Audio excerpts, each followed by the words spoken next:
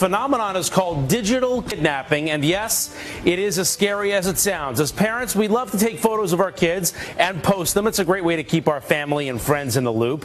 But now experts are issuing this new alert that bad guys are using our posts against us to track our children. This morning, you're about to see how they do it, plus the simple setting on your phone that you can change right now to protect your family. Your baby's hatching. From Facebook to Instagram, parents sharing their children's lives online. But now the new world crime, digital kidnapping, predators stealing your kids' photos and spreading them online. This stranger posting on Facebook claiming this girl was his daughter. In another recent case, a child's photo was tagged on a porn site. Turns out most of us are putting our own families at risk, and we have no idea. Happy Thursday. You post all the time. Yeah, I like to post about the kids. That's Michelle and Reese. They think we're doing a general story about social media. What they don't know, back in Ohio, cyber safety expert Jesse Weinberger is poring over their social media pages, checking for private information. So, what do you find here? Through mom's Facebook account and everything that she's posted, I was able to find out husband's name, children's names. She has two children. I know their ages. I know their dates of birth. I know where they go to school. I have the address of the school. I have the name of the teacher. I know exactly which playgrounds they visit, how often they like to go to each playground. You were showing me a map where you're actually able to find out the path they take to school, how they walk and when. Right. It wasn't hard. But even scarier, she says our photos can have a hidden location signature embedded in them. Even if you don't tag the location, anyone can still find out where you are. What's the danger here? For example, I know that one of her children broke his leg. How easy would it for me to be to come up to the kid and say, Oh, you don't remember me, but I was the nurse when you came to the emergency room. How's your leg feeling? Come with me. Come with me. Time for the moment of truth. Come have a seat right over here. I tell Michelle and Reese what we uncovered. We actually had a cybersecurity expert pour through your social media pages, mm-hmm. and she put together a dossier on your children, Okay. on your family. Found out some pretty creepy stuff.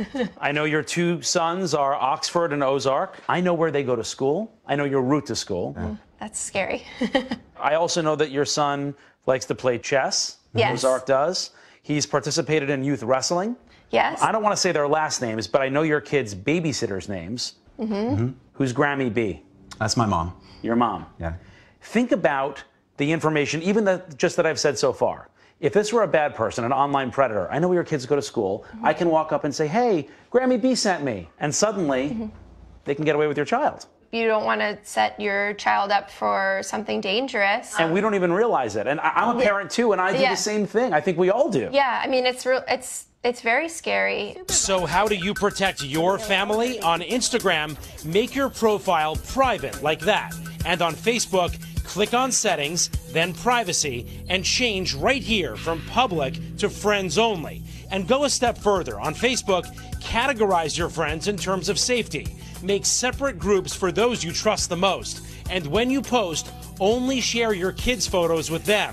And remember that hidden location feature in some photos? Go to your phone's privacy settings, the camera section, and make sure the location function is off. Also, never put your kids in your profile or cover photo. Those are always public. It's definitely a really good reminder for all of us. I know there are people out in this world, and they're using that information to do bad things. By the way, as we sit here, you're going through your Facebook Yeah, settings, then your oh, phone I wanna settings. It's true. We're gonna. I'm gonna show you as soon as we're Yeah, off the air. I'm gonna show you again. But here's another tip for you. You know, you change your clocks every time it's daylight saving time. Experts say use that as a reminder to go through your friends on social media and clean house. Delete anyone who you're not friends with anymore. Oh, yeah. Because you know sometimes we just collect friends on social media. yeah. Go through it a couple of times a year to make sure that you still don't have some stragglers there who you don't know. All right, that privacy setting's important and easy to, to fix, right? Yeah, I'll, I'll go, let me have your phone. I'll, I'll do Jeff. this Thank during your next story. All sure. right. Hello, Today fans. Thanks for checking out our YouTube channel. Subscribe by clicking that button down there and click on any of the videos over here to watch the latest interviews, show highlights, and digital exclusives.